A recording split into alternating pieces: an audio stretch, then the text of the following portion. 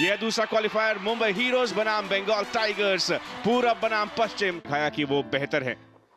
शानदार पहला ओवर यहाँ पर मौका हो सकता था, और मौका पूरी तरह से स्वीकारते हुए यहाँ पहला विकेट गिरता हुआ बंगाल टाइगर्स के लिए। रितेश देशमुख की एक शानदार शुरुआत, उदय का विकेट गिरता हुआ यहाँ।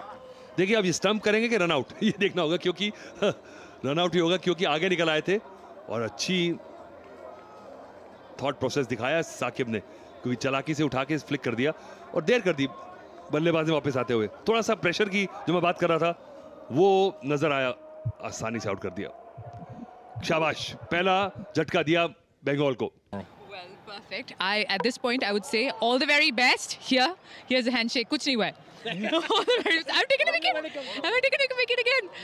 Oh my God! Back to the comms. I've done it again. Yes, Poppy's strike rate's getting better and better and better, isn't it? Uh, Poppy interview करे और विकेट ना गिरे ऐसा हो नहीं सकता। और यहाँ पे रत्नदीप का विकेट गिरा। एक बार फिर नज़र डालिएगा। क्रॉस खेल गए पूरी तरह से लाइन मिस कर गए गेंद की। और जानते थे क्या किया है।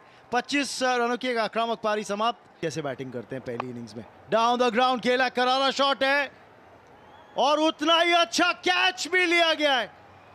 सुपर कैच सिद्धांत मूल है।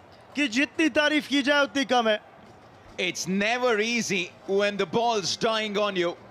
And so you're asking yourself whether you want to go for the catch or you stop the boundary. He went for the catch, timed that dive to perfection, plucks it right in the nick of time. Wow, that is as close as it gets.